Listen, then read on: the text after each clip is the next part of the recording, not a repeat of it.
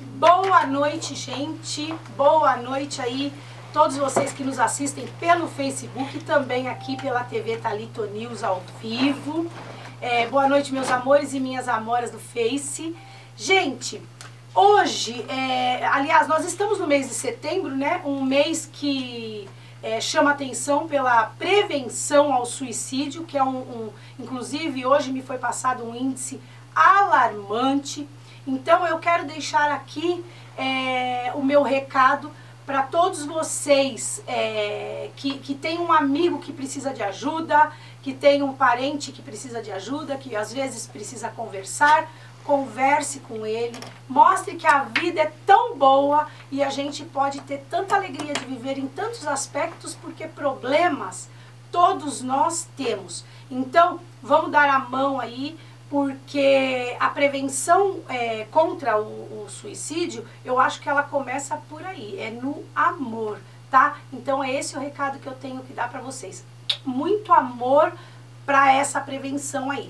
E quero aproveitar também, gente, falar, porque é, antes de apresentar aqui os meus convidados, eu quero falar para vocês que, é, vou, na verdade, eu vou, vou dar aqui a minha nota de repúdio ao que aconteceu com a doutora Valéria é, Lúcia dos Santos, lá no Rio de Janeiro. A advogada que foi humilhada, foi algemada, arrastada por policiais, amando de uma juíza leiga, né? Que, que, o que, que é uma juíza leiga? É, ela é advogada, ela é conciliadora, ela não é uma juíza de direito. Mesmo que fosse uma juíza de direito, teria que respeitar as prerrogativas dessa profissional que não foi respeitada, né? Então, é, fica aqui o meu repúdio a toda e qualquer, a todo e qualquer ato de violência, seja contra advogado, seja contra qualquer uma pessoa, mas é, é, o que eu quero dizer, além do meu repúdio, é só uma coisinha. É que eu, eu, eu tenho orgulho dessa advogada, da doutora Valéria. Eu sou doutora Valéria e eu espero que todas vocês que estão nos assistindo sejam doutora Valéria também, porque essa mulher, mesmo algemada, mesmo humilhada, ela foi guerreira e ela não recuou. Ela fez a defesa, tentou fazer a defesa de todas as formas, mesmo sendo humilhada daquele jeito. Então, doutora Valéria, você me representa e eu tenho certeza que representa todas as mulheres desse Brasil, viu? Um grande beijo para essa mulher maravilhosa. Bom, eu quero também dar um recado que eu não posso esquecer, né? E o Caputinati, nossa amiga querida, ela está organizando a festa fantasia lá no Clube Recreativo, que vai ser na, no sábado. Aliás, todos os eventos que a Ilka é, organiza são eventos maravilhosos. Eu estarei na festa fantasia, tenho certeza que a festa ser, será maravilhosa. E quem quiser convite, gente, é só é, é chamar no Face, nós indicamos e também tem lá na, na, na rua 7 de setembro. Eu vou passar aqui rapidinho o número, porque eu esqueci de marcar. Só um minutinho, aí o Cami passou hoje. Olha, o endereço, quem quiser convite, pode pegar lá no é, Rua 7 de Setembro 272, no centro de Guarulhos. E o telefone é 2408-8326 é o Baile a Fantasia. Maravilhoso, gente, espero vocês lá. Bom, agora eu vou apresentar essas duas figuras maravilhosas que estão aqui. Doutor Mauro, ele é tabelião de notas da comarca de Guarulhos, é ex-oficial de registro civil das pessoas naturais e tabelião de notas do município de Vargem, em São Paulo, graduado em Direito, é especialista em Direito Público e em Direito Civil negocial e imobiliário. Estamos muito bem representados, representados pelo, pelo segundo cartório. Obrigado, boa noite a todos, agradeço o convite, doutora, muito obrigado. Eu é que agradeço a sua presença. Estamos também aqui com o Luiz Fernando Rezende dos Santos, escrevente no segundo tabelião de notas da comarca, no mesmo, desde 1994, é graduado em Direito pela FIG, Grande FIG Unimesp, e é especialista em Direito de Família e em Direito Imobiliário. Muito boa noite, é um prazer te receber também. Boa noite, muito obrigado pelo convite.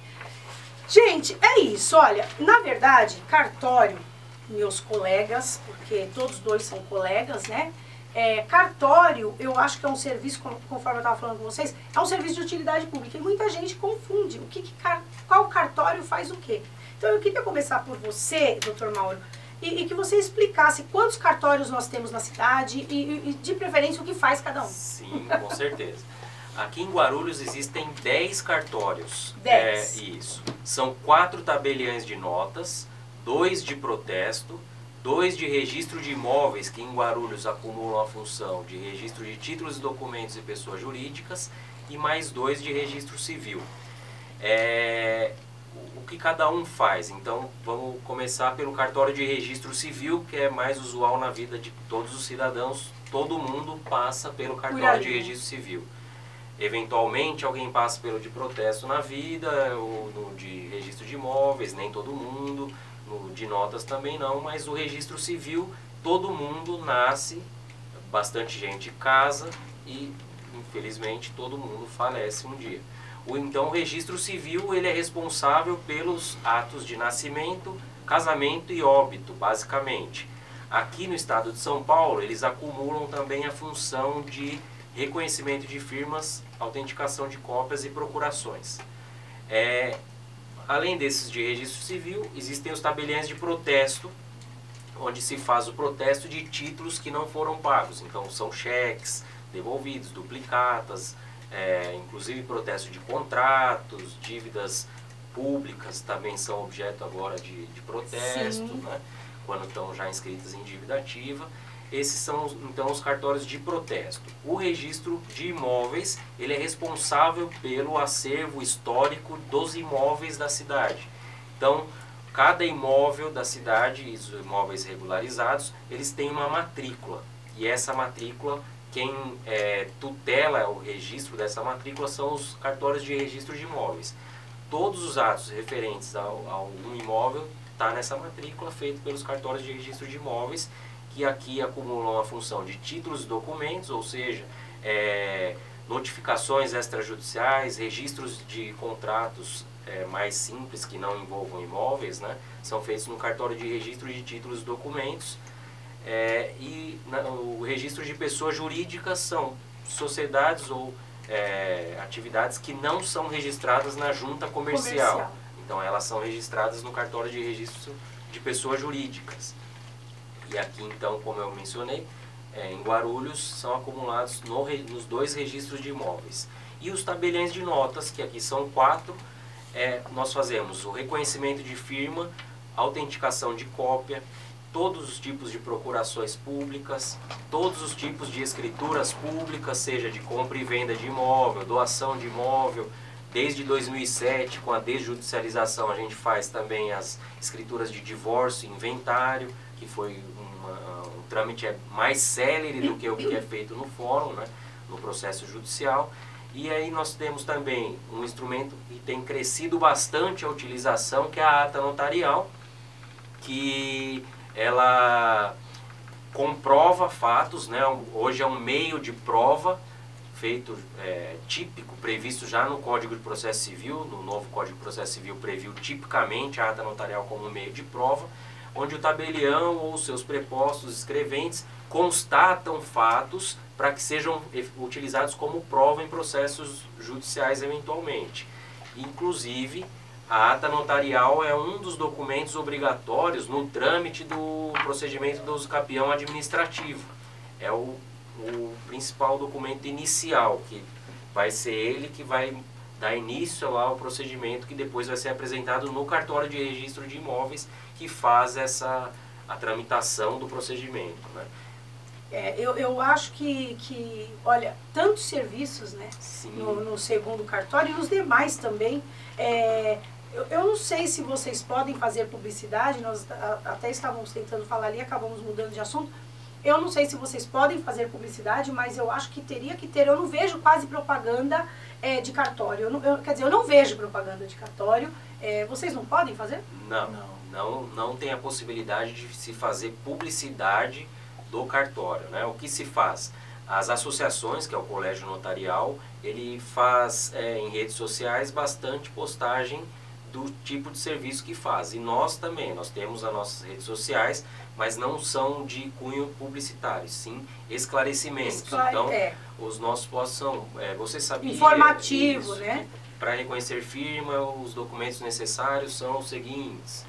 Então, são informes publicitários, né, para que a população tenha acesso e conhecimento sobre o que cada cartório Então, faz. eu, por que, que eu digo que eu acho importante? Porque muitas pessoas confundem, né? Não sabe é, se, se vão fazer uma ata notorial no cartório de, de notas ou lá no, no de registro De civil, né? Então, é, é, fica, fica uma situação muito delicada. Eu acho, eu, eu acredito que tinha que ter, é, a advocacia também nos proíbe de, de, de fazer publicidade, Publicidade. mas eu acho que a pu- publicidade é a alma do negócio. Eu acho É. que nós devíamos começar a, a pensar em rever isso.